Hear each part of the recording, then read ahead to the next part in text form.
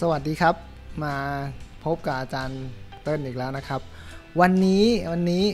มีโจทย์นะครับที่เป็นแบบ 3 มิตินะครับ ซึ่งมีน้องคนหนึ่งส่งมาถามนะ แต่ว่าไม่ได้พาทำไปนะตอนนั้นนะ แล้วน้องก็คงได้ส่งงานคุณครูหรือส่งงานอาจารย์ไปเรียบร้อยแล้วนะครับ แต่ว่าวันนี้ก็เลยเออมาดูแล้วโจทย์ข้อนี้มันน่าสนใจนะ ก็เลยจะพามาทำนะครับ แต่การทำเนี่ยมันก็จะมีเทคนิครูปแบบของการทำที่ค่อนข้างที่จะแตกต่างกันไปนะ อันนี้ก็จะเป็นวิธีเฉพาะของอาจารย์เป็นเทคนิคของอาจารย์นะ ซึ่ง มันจะไม่อาจจะไม่เหมือนกับของที่มหาวิทยาลัยที่เราทำอยู่นะครับ ซึ่งพอมาดูแล้วเนี่ย ของอาจารย์ อาจารย์ก็คิดว่ารูปแบบของอาจารย์มันง่ายนะ แต่ว่าอาอาจจะต้องพยายามทำความเข้าใจคอนเซปต์ให้มันเรียบร้อยก่อนนะครับ แล้วก็เราจะเข้าใจเหมือนอาจารย์แล้วเราจะทำโจทย์ข้อนี้ได้อย่างง่าย ๆ ซึ่งโจทย์ข้อนี้นะ ไม่รู้ว่ามีใครคุ้นบ้างไหมนะครับ ถ้าคนที่ถามเข้ามาก็ลองคอมเมนต์มาดูแล้วกันว่า ส่งไปแล้วถูกหรือเปล่า เดี๋ยวเรามาอ่านตรงตัวโจทย์กันก่อนนะครับ เขาบอกว่าไอ้ตัวเบนท์บาร์ตัวนี้นะครับ มันเชื่อมที่จุด A นะ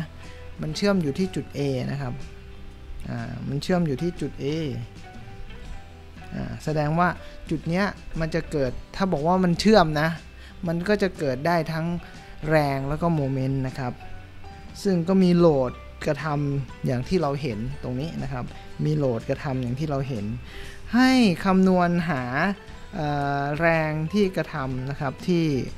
จุด A นะครับ เมื่ออทุกอย่างอยู่ในสมดุลเนาะทุกอย่างอยู่ในสมดุลอะเดี๋ยวอาจารย์ย่อรูปตัวอาจารย์ก่อนอะอาจารย์สรุปอีกทีหนึ่งเนาะโจทย์ข้อนี้เนี่ยเขาก็บอกว่ามันเชื่อมที่จุด A แล้วก็มีแรงที่กระทำอยู่ทั้งหมดแบบนี้ โดยแรงที่กระทำก็จะมี เป็นแรงอยู่ 3 แรงแล้วก็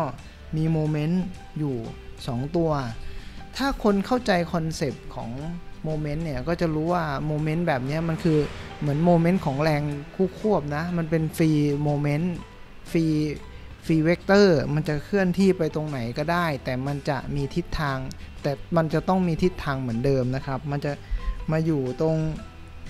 สมมุติว่าเอา 40 นิวตันเมตรเนี่ยย้ายมาอยู่ตรงนี้เลยก็ได้นะครับ เพราะมันเป็น free vector นะอะส่วนพวกแรงเนี่ยมันก็ต้องวิ่งตามแนวแรงของมันนะครับ วิ่งตามแนวแรงของมันอะมาดูนะครับ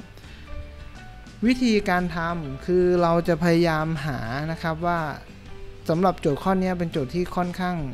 ถือว่าง่าย เพราะว่าแรงแต่ละตัวเนี่ยมันอยู่ในระนาบนะครับ บางตัว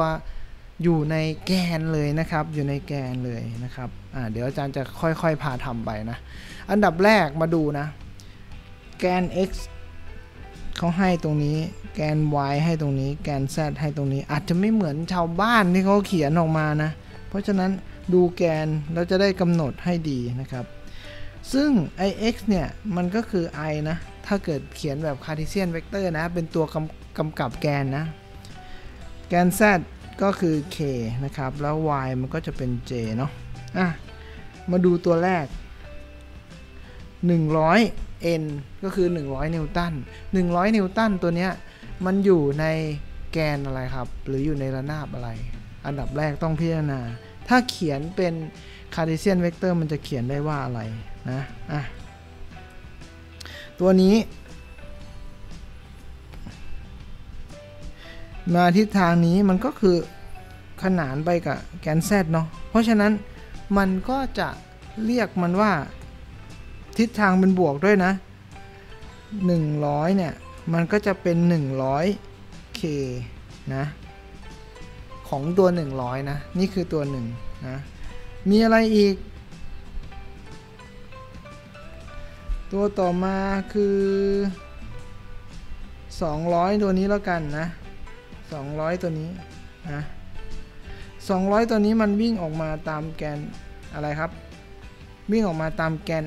อะไรปุ๊บนี่วิ่งมานี่นี่แกน i หรือแกน x นั่นเองนะครับ มันก็จะเขียนได้ว่าบวกด้วย เป็นบวกด้วยนะ เป็นเป็นทิศทางเป็นบวกด้วยเพราะวิ่งไปทิศทางบวกบวกด้วย 200 J นะครับ ตัวนี้ล่ะ ตัว 150 ตัวนี้มันทิศทางลงแบบนี้นะครับ ทิศทางลงแบบนี้นะครับลงแบบนี้มันก็เป็นทิศทางของอะไรครับ J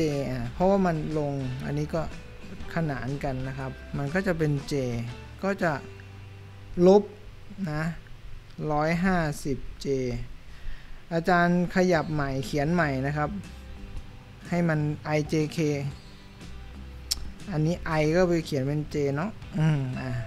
โอเค อาจารย์จะเขียนใหม่นะ เพราะฉะนั้นแรง 3 แรงตัวเนี้ย1 2 3เนี่ย เขียนได้เลยว่าเป็น 200 I นะมันก็สามารถที่จะย้ายมาตรงนี้ได้อยู่แล้วนะครับ บวกด้วยลบด้วย 150J แล้วก็บวกด้วย 1 100K นะครับ ก็แรงมันมีแค่นี้นะครับ มันก็จะมากระทำส่งผลต่อจุด A เหมือนกันนะครับ เพราะฉะนั้น F ที่จุด A ก็จะเท่ากับนี่นะครับ มีขนาดเท่าไหร่นะ ขนาดของแรงนะครับ ก็จะเท่ากับ square root 200กำลัง 2 บวกด้วย ลบ 150กำลัง 2 บวกด้วย 100กำลัง 2 นะครับ ถ้าเขาให้หาขนาดนะครับ แต่จริงๆแล้วเนี่ย ได้เป็น Cartesian vector ก็จบแล้วนะครับ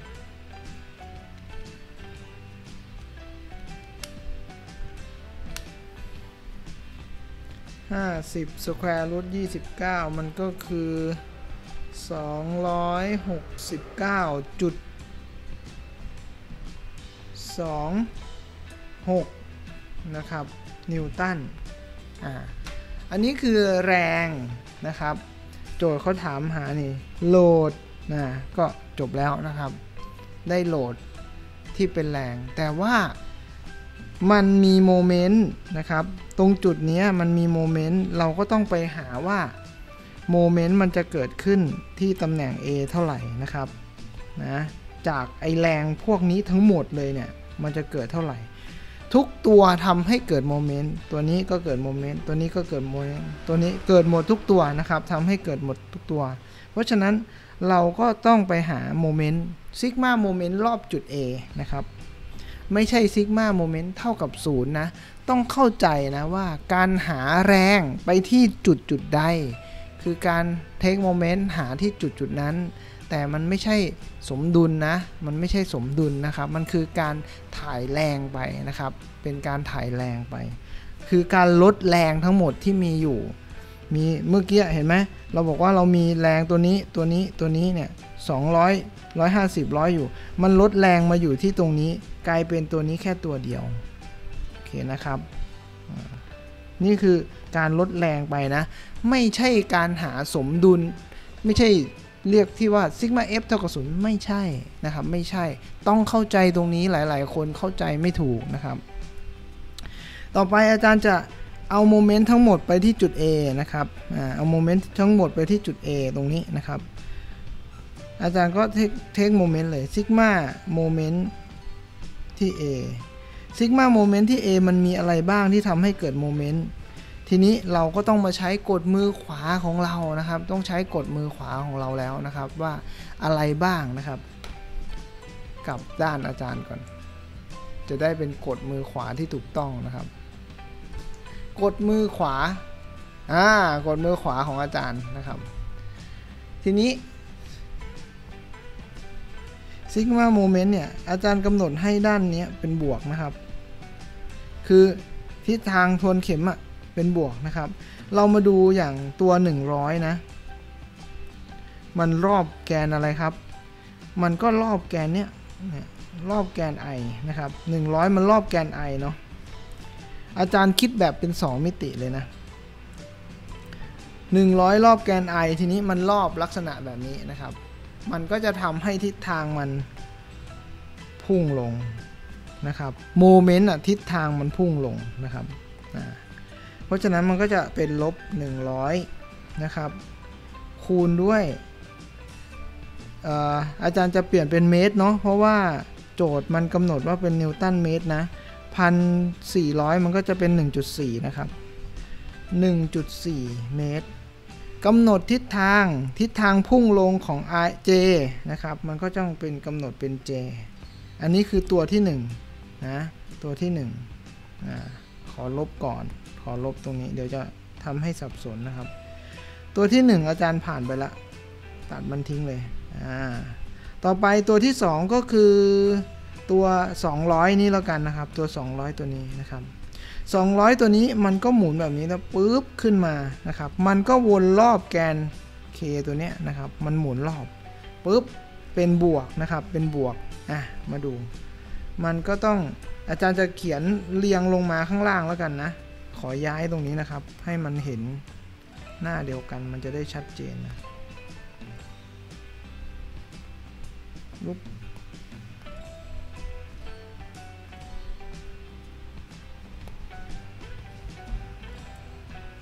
มาต่อนะครับ ตอนนี้อาจารย์ขอกลับด้านแล้วกัน เพราะว่ามันไม่ค่อยสอดคล้องนะ กับมือของอาจารย์ที่ใช้ โอเค อาจารย์กำลังจะมาดูตัว 200 วิ่งด้านนี้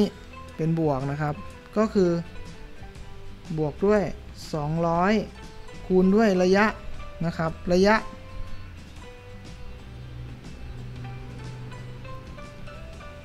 ระยะก็ใช้ concept เดิมนะครับ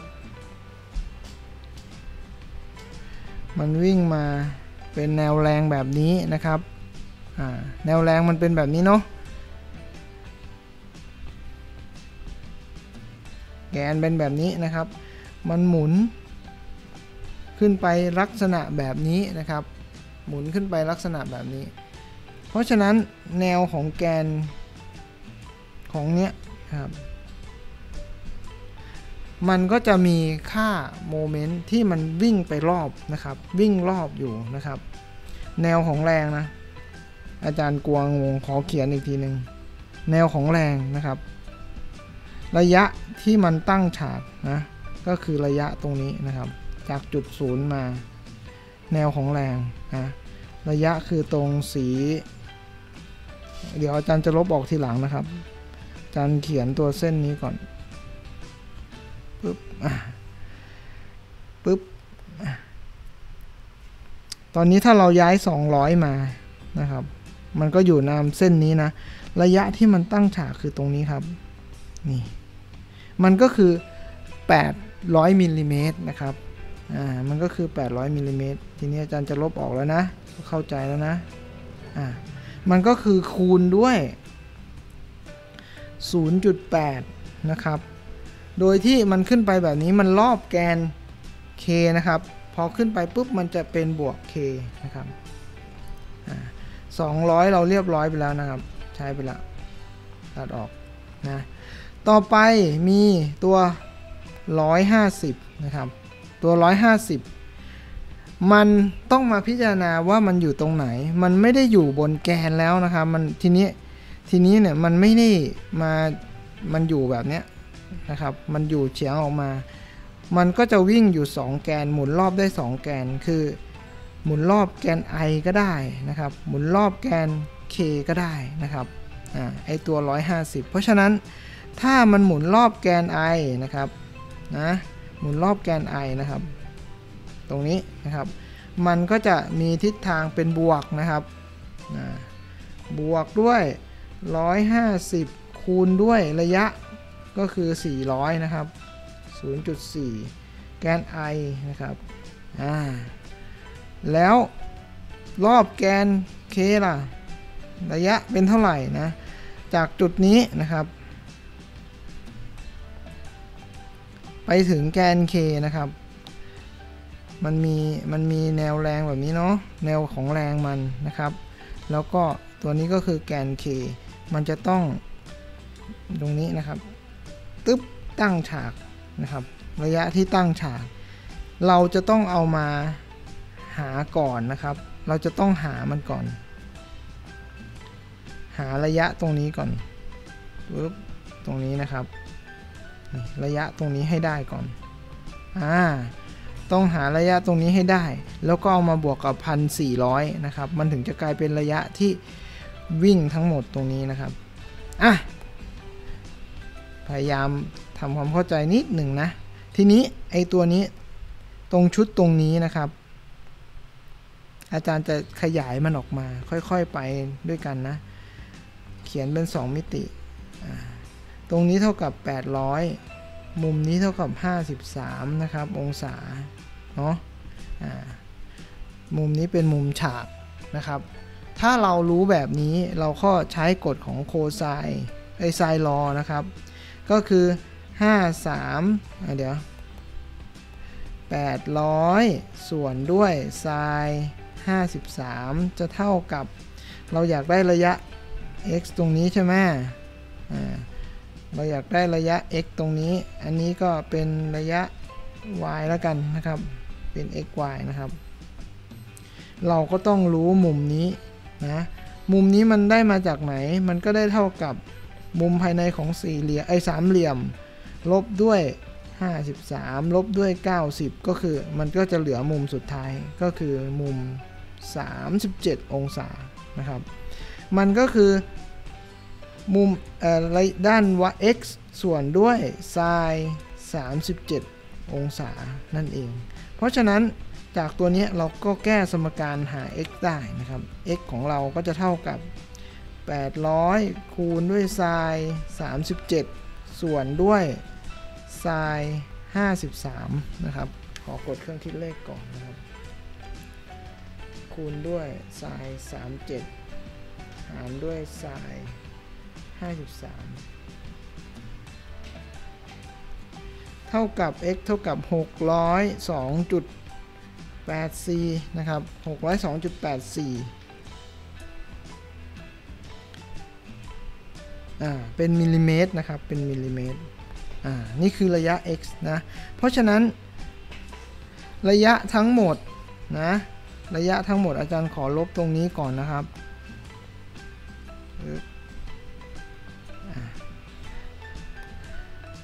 ระยะทั้งหมดตรงนี้ที่เป็นแขนนะครับก็คือเอาพันสี่มาบวกกับ 602.84 นะ อาจารย์จะเขียนใหม่ตรงนี้นะครับ เพราะฉะนั้นตัวนี้ 150 ตัว 150 เนี่ย มันหมุนรอบแกน k นะครับ หมุนรอบแกน k เป็นลบนะ เป็นลบ 150 คูณด้วยระยะก็คือ 1.4 บวกด้วย 0.6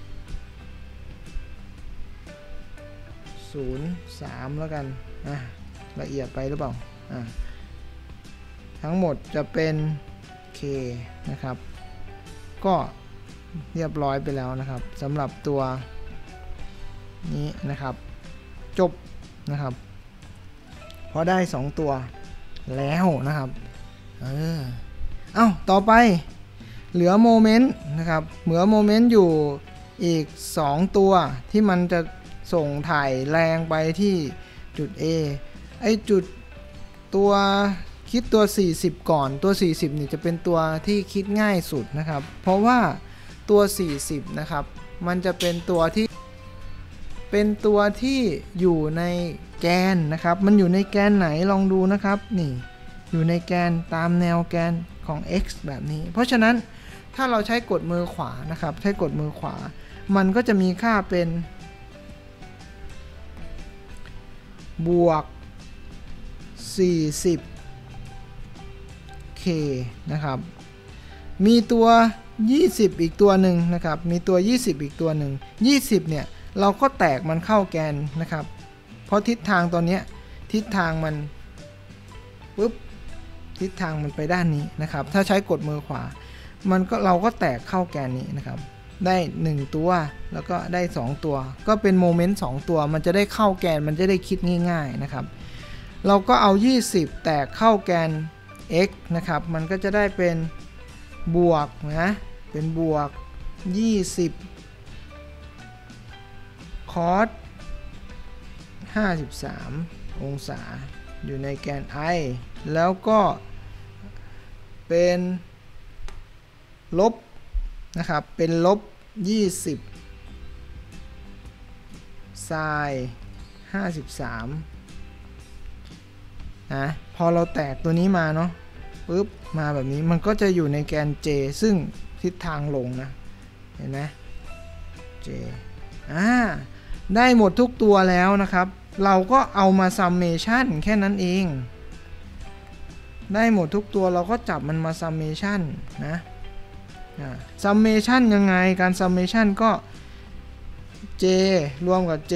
นะครับเดี๋ยว J ก็มารวมกับ J เนี่ยเนี่ยมี J กี่ตัวก็เอามารวมกัน มี i กี่ตัวก็เอา i มารวมกันนะ เดี๋ยวจะรวมให้ดูเลยนะครับ เอา i ก่อน มันจะได้เรียงนะครับ อาจารย์ก็จะเอา i มารวมกัน เอออ่า i มีเท่านี้นะครับ i ก็ซิกมาโมเมนต์ที่ a จะเท่ากับ ขอกดเครื่องคิดเลขเอาไว้ก่อน มันจะได้เป็นเลข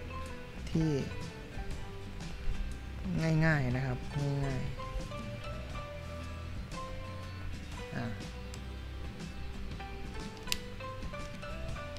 ช่วยดูตามไปด้วยนะครับ เผื่อมีพลาดอะไร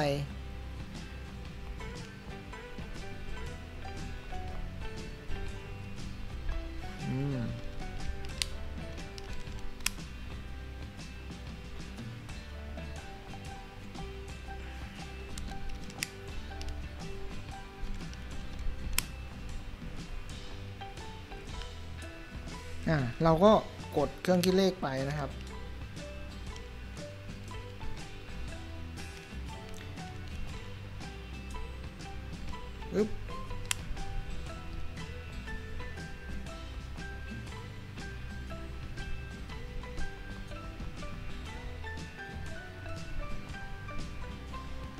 นิดนึงนะครับ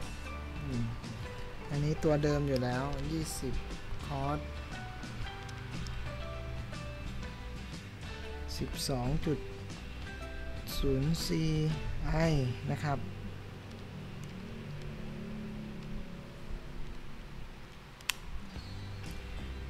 ลบ 15.97 j โอเค ได้แบบนี้แล้วนะครับ เอา i ก่อน i ก็จะมี 60 บวกด้วย 12.04 i นะครับ ต่อไป J J ก็จะมีลบร้อยสี่สิบ J ขอเป็นสีแดงแล้วกัน ลบร้อยสี่สิบครับ ตัวนี้นะครับ ก็เป็นลบร้อยเอ้ยสิบห้าจุดเก้าเจ็ดนะครับ อันนี้ก็เป็น J ตัวสุดท้ายก็เป็น K นะครับ เป็น K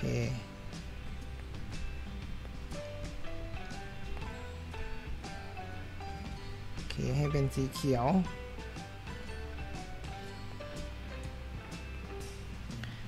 K ก็มีอะไรบ้างก็มี 160 นะครับ แล้วก็ลบ 300จุดสี่ห้านะครับ เดี๋ยวลงเป็นเลข 5 ไปละ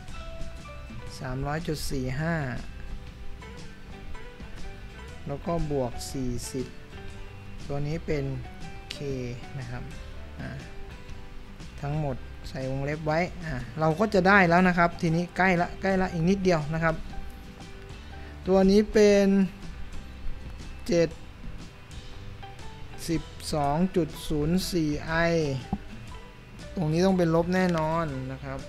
ร้อยสี่สิบบวกร้อยหหาสิบจุดเก้า J J อันนี้ก็ต้องน่าจะต้องเป็นลบนะครับร้อยหกสิบลบสามร้อยจุดสี่ห้า บวก 40 100.45 k อ่าได้โมเมนต์แบบ Cartesian vector ออกมาแล้วนะครับ อ่า เพราะฉะนั้น จะหาขนาดของโมเมนต์เราก็หาเลย ขนาดของโมเมนต์ที่รวมที่ A นะครับ มันก็จะเท่ากับ จับทุกตัวเนี่ย มา square root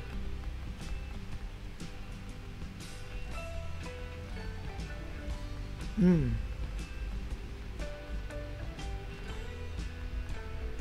อืม จับทุกตัวมาสแควร์รูทก็ได้เท่ากับ 72.04กำลัง 2 บวกด้วย 155.97กำลัง 2 บวกด้วย 100.45กำลัง 2 ได้เท่ากับ 199อ่านิวตันเมตรนะครับ ผลรวมของโมเมนต์ขนาดของโมเมนต์นะครับ เราก็จะได้ทั้งหมดที่เราต้องการนะครับ ได้แรงได้โมเมนต์นะครับ ได้เป็นแบบ Cartesian vector นี่คือสวยงามที่สุดแล้วนะครับตัวนี้ อืม แล้วก็แรง ตัวนี้โอเคนะครับ กว่าจะสำเร็จข้อนี้ ยากไหม ถือว่าไม่ยาก แต่ว่ามันต้องค่อยๆพิจารณาแล้วก็ลดไปทีละตัว ลดไปทีละตัวนะครับ ก็ใครไม่เข้าใจยังไงก็สามารถสอบถามได้นะครับ หรือมีโจทย์อะไรที่น่าสนใจก็ส่งมาให้อาจารย์นะครับ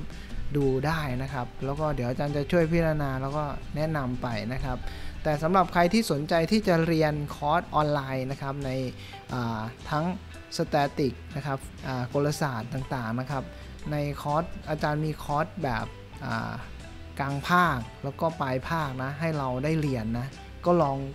เข้าไปดูนะครับ เข้าไปดูแล้วก็ติดตามหรือจะสอบถามส่ง message มาสอบถามอาจารย์ดูก็ได้นะครับ เดี๋ยวจะแนะนำไปนะครับ วิธีการเรียนต่างๆ โอเค หวังว่าคลิปนี้จะเป็นประโยชน์กับผู้เรียนทุกคนนะครับ แล้วก็ขอให้เรียนสแตติกอย่างเข้าใจแล้วก็ทำโจทย์ทำข้อสอบได้ต่อไป ยังไงก็ช่วยกดติดตามหรือช่วยแชร์คลิปที่เป็นประโยชน์แบบนี้ให้กับคนอื่น ต่อไปด้วยนะครับ โอเคครับ ขอบคุณมากแล้วเดี๋ยวเจอกันในคลิปต่อไปครับ บ๊ายบาย